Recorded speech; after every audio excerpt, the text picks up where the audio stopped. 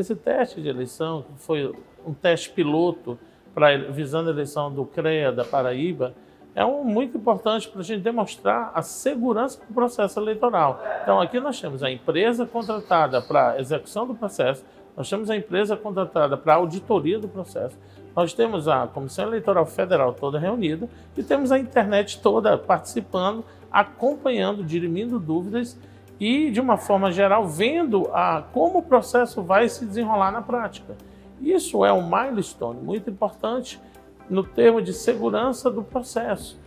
transparência e lisura, para mostrar para o profissional que o CONFEA está na vanguarda disso e está muito preocupado com isso, assim como estamos preocupados com o nosso processo eleitoral que vai vir agora em outubro.